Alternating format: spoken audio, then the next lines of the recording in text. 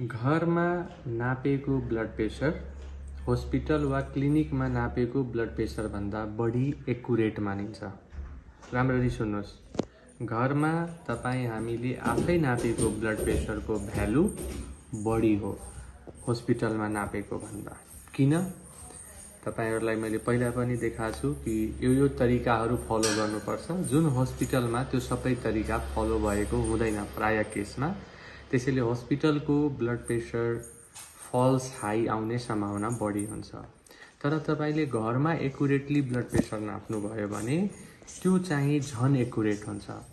र हामी आफ्नो बिरामीलाई के भन्छौँ भने घरको ब्लड प्रेसर के हो भनेर रेकर्ड गरेर ल्याउनुहोस् भन्छौँ अधिकांश केसमा र त्यसको आधारमा हामी ट्रिटमेन्ट गर्छौँ।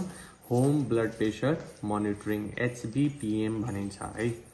अब घरमा एउटा सामान्य व्यक्तिले बिपी नाप्दा के के कुरामा ध्यान दिनुपर्छ? एकदमै इम्पोर्टेन्ट जानकारी हो तपाईँ हेर्नुहोस् र सेयर पनि गर्नु होला यो भिडियोलाई।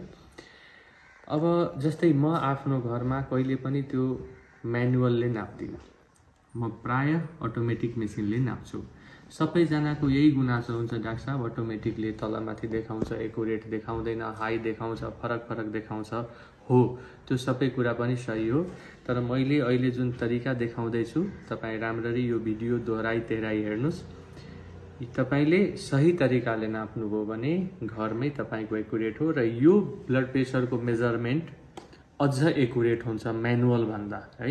म्यानुअल भन्दा नर्सले डक्टरले नापेको भन्दा यो बढी एकुरेट मानिन्छ।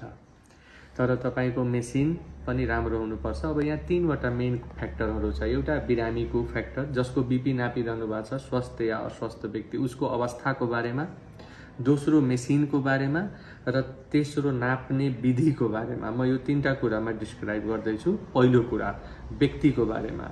अब जुन व्यक्तिको ब्लड प्रेसर नापिएको छ अब व्यक्ति राम्ररी बसेको छ कि छैन पहिला हेर्नुहोस्। राम्ररी बसेको भन्दा उसको हात कुनै ठाउँमा रेस्ट गर्नु पर्यो। हेर्नुहोस् मेरो हात एकदम मैले सिधा पारेर राखेको छु। अब यस्तो खुम्च्याएर राख्नुभयो भने सही आउँदैन। सिधा पारेर राख्नुहोस् टेबलमा राख्नुहोस् या सोफाको ह्यान्ड रेस्टमा राख्नुहोस् तर हातलाई सिधा राख्नुहोस्। ठिक छ? त्यसपछि तपाईँ बस्दाखेरि तपाईँको खुट्टा भुइँमा दुइटै खुट्टा यसरी टच हुनुपर्छ। यो खुट्टा चाहिँ एक अर्कामाथि क्रस गरेर राख्न मिल्दैन। त्यसै गरी तपाईँको पिठ्यौँ जुन छ ब्याकमा रेस्ट गर्नुपर्छ। यसरी चाहिँ ना ननाप्नुहोस्। तपाईँ रेस्ट गर्नुहोस्। रेस्ट गरेर नाप्नुहोस्। है पुरै रेस्ट हुनुपर्छ। ब्याक सपोर्टेड हुनु पऱ्यो त्यसपछि तपाईँ कम्फर्टेबली बस्नु पऱ्यो अब रुमको इन्भाइरोमेन्ट कस्तो छ? धेरै तातो धेरै चिसोमा ब्लड प्रेसर फरक आउँछ। त्यो पनि विचार गर्नुपर्छ। र कपडा सकेसम्म माथि हटाउनु पर्यो एकदमै पातलो कपडा रहेछ भने कपडा माथिबाट तर अटोमेटिक मेसिनले नाप्नुहुन्छ भने कपडा हटाएरै तपाईँ नाप्नुहोस्। किनभने अटोमेटिक कपडा माथिबाट एकदमै त्यो फल्स अझ बढी फल्स देखाउन सक्छ। सो कपडा माथिबाट तपाईँ हाल्नुभयो। अब त्यसपछि तपाईँ कुन बेला बिपी नापिरहनु भएको छ? तपाईँ एक्सर्साइज गरेर आउनुहुन्छ बिपी नाप्नुभयो कम भइ कम देखाउँछ। खाना खाएपछि बिपी नाप्नुभयो कम देखाउँछ। चिया कफी खाएपछि बिपी नाप्नुभयो बिपी हाई देखाउँछ। तपाईँ अलिकति भर्खर हिँडेर आउनु भएको छ तपाईँको बिपी हाई देखाउँछ। तपाईँ औषधि खाएर नाप्नुभयो बिपी लो देखाउँछ। गर्मीमा नाप्नुभयो लो देखाउँछ। धेरै चिसो भइरहेछ टेम्परेचर त्यसमा नाप्नुभयो बिपी हाई देखाउन सक्छ।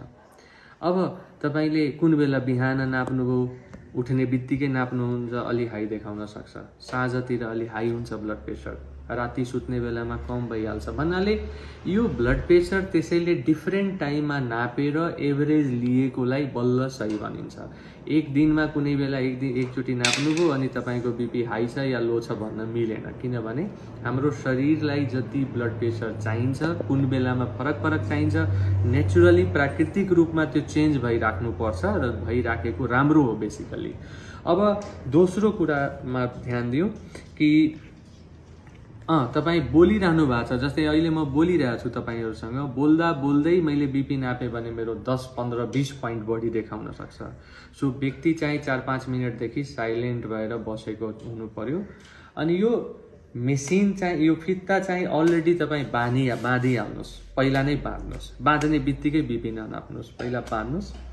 अब यो बाँध्ने बेलामा के ध्यान दिनुपर्छ भने यो जुन मार्कर छ नि यो धेरै अटोमेटिक मेसिनमा तपाईँ हेर्नुहुन्छ एउटा मार्कर जस्तो यहाँ हुन्छ। यो भनेको ठ्याक्कै सेन्टरमा यो नपारेर अलिकति देब्रेतिर। किन यहाँ एउटा आर्ट्री हुन्छ तपाईँ धेरैले मेडिकल पर्सनले फिल गर्न सक्नुहुन्छ यहाँ एउटा नसाच हुन्छ धम्नी। त्यो धम्नी नारी चलेको तपाईँ भेटाउनुहुन्छ ठ्याक्कै यसको सामने पार्नुपर्छ। है यो मार्कर हुन्छ धेरै ब्लड प्रेसरको मेसिन अटोमेटिक मेसिनमा अनि यसलाई सेन्टरमा नराख्नुहोस्। अब यो न टाइट छ न लुज छ। भन्नाले तपाईँ हेर्नुहोस् यो अलिकति औँला यसमा छिराउन मिल्छ तर धेरै टाइट गरिदिनु भयो भने तपाईँको बिपी हाई देखाइदिन्छ लुज बाँध्नुभयो भने लो देखाइदिन्छ। सो यो कुरा तपाईँ ध्यानमा राख्नु हेर्नुहोस् टाइट यो ट्याक्कै मिलेको छ है। अब यो मैले सिधा राखेछु मैले मेसिनलाई पनि यहाँ राखिदिएँ है। अब यहाँ राखेपछि अब म अहिले जस्तै मैले खाना खाएपछि नाप्दैछु मेरो बिपी कम हुनसक्छ तर म अहिले तपाईँहरूसँग बोल्दैछु भने मेरो ब्लड प्रेसर चाहिँ हाई हुनसक्छ। अलिकति दस पोइन्ट जति हाई आउँछ। अब म आफ्नो ब्लड प्रेसर नापेर तपाईँहरूलाई देखाउँदैछु।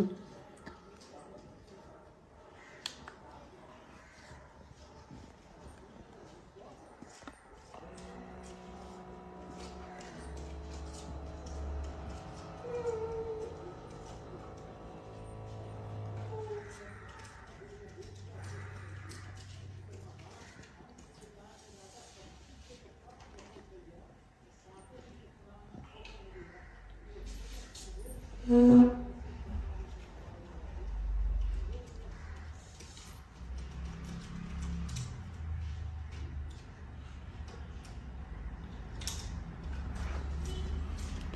एक सय चौध छयत्तर र सतासी चाहिँ पल्स है।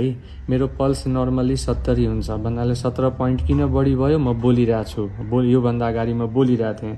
मेरो बिपी एक सय चौध जुन देखियो मेरो नर्मल्ली एक सय दसभन्दा कम हुन्छ ब्लड प्रेसर अनि माथिको पनि सेभेन्टीको रेन्जमा हुन्छ। सो मेरो एकदम एकुरेट यसले देखायो एकचोटिमै। तर यो दस पोइन्ट मेरो बढी देखाएको छ किनभने सात आठ पोइन्ट बढी देखाएको छ। म बोलिरहेको थिएँ अघि। सो पाँच मिनट नबोलिकन। अब अर्को कुरा जुन मैले तपाईँलाई अघि मेसिनमा देखाइनँ त्यो म नबोलिरहेको थिएन। जब यो मेजर गर्न थाल्छ अनि त्यो बेला तपाईँले लाम हल्लिनु अलिकति पनि हल्लिनु हुँदैन। एकदम साइलेन्ट तपाईँ नहल्लिकन बस्नु पऱ्यो र बिस्तारै बिस्तारै सास फेर्नु पऱ्यो भन्नाले एकैचोटि यस्तो होइन कि स्यालो ब्रिदिङ हामी भन्छौँ एकदम छोटो छोटो। कि बाहिरबाट हेर्दा थाहा नहोस् कि ब्रिदिङ लिइरहेछ। त्यो त्यो ब्रिदिङमा यसको एकुरेसी चाहिँ बढी हुन्छ। सो यो तरिकाहरू हामी अपनायौँ भने हाम्रो ब्लड प्रेसर एकदम एकुरेट आउँछ। र तपाईँलाई डाउट लाग्छ तपाईँ फेरि एकचोटि रिपिट गर्नुहोस्। तपाईँको पहिला रिडिङ र अहिलेको रिडिङमा कति फरक छ तपाईँ बुझ्न सक्नुहुन्छ। र त्यसपछि तपाईँलाई डाउट लाग्छ भने रिपिट गर्नुहोस्। अब तपाईँहरू भन्नुहुन्छ पक्कै कमेन्ट्समा यो कुरा आउँछ डाक्टर साहब कुन कम्पनीको किन्ने भनेर? अब त्यो कम्पनीको नाम मैले भन्दाखेरि त्यो प्रचार जस्तो हुन्छ त्यो म चाहिँ भन्दिनँ। तर मैले हेरेको around thirty five hundred to चार हजार जाने मेसिनहरू त्यो लेभलका नेपालमा पाउने विदेशी कम्पनीका मेसिनहरू राम्रो भएको म पाउँछु। सस्तो मेसिन चाहिँ नकिन्नु होला त्यसको एकुरेसीमा डाउट हुन्छ। तर ठिक्कको तपाईँ यो रेन्जको मेसिन यदि किन्नुभयो या बाहिरबाट कसैले ल्याइदिएको छ या यहीँ पनि पाउँछ राम्रो कम्पनीको किन्नुभयो भने home blood pressure is more accurate धेरैचोटि हाम्रो क्लिनिकमा नापेको ब्लड प्रेसर हाई आउँछ। तर हामीले बिरामीको उपचार गर्दा खालि बिपी नापेको आधारमा हाम्रो कहिले पनि उपचार हुँदैन। धेरैले भन्नुहुन्छ डाक्टर साहब तपाईँको क्लिनिकमा पनि जाँदाखेरि त मलाई तुरुन्तै बिपी नापिदिएको थियो भन् लेख्नुहुन्छ मैले भन्दाखेरि हो। अब हस्पिटल इन्भाइरोमेन्टमा धेरै कारणले बिपी बढेको हुन्छ। फल्स जुन वाइट कोट हाइपरटेन्सन भनिन्छ। तर डाक्टरले बिपीको औषधि दिने नदिने कुरा खालि एउटा रिडिङ नापेर डिसाइड हुँदैन। आज कहिले कसैको एक सय साठी र सय आयो भने उसलाई औषधि दिइहाल्ने पनि हुँदैन किनभने त्यसलाई प्रमाणित गर्नुपर्छ कि साँच्चीकै उसको ब्लड प्रेसर एक सय साठी सय हो र यसको धेरै अरू टेस्टहरू गरेर पत्ता लगाइन्छ एबिपी गरिन्छ इको गरिन्छ पिसाबमा प्रोटिनको हेरिन्छ अरू फ्याक्टरहरू हेरिन्छ लक्षण एसेस गरिन्छ र यो सबै कुराहरूलाई एक ठाउँमा राखेर अनि बल्ल व्यक्तिको अवस्था हेरेर इन्डिभिजुअलाइज हामी ट्रिटमेन्ट गर्छौँ। त्यसलाई निर्णय गरिन्छ कि तपाईँलाई औषधि दिने कि नदिने।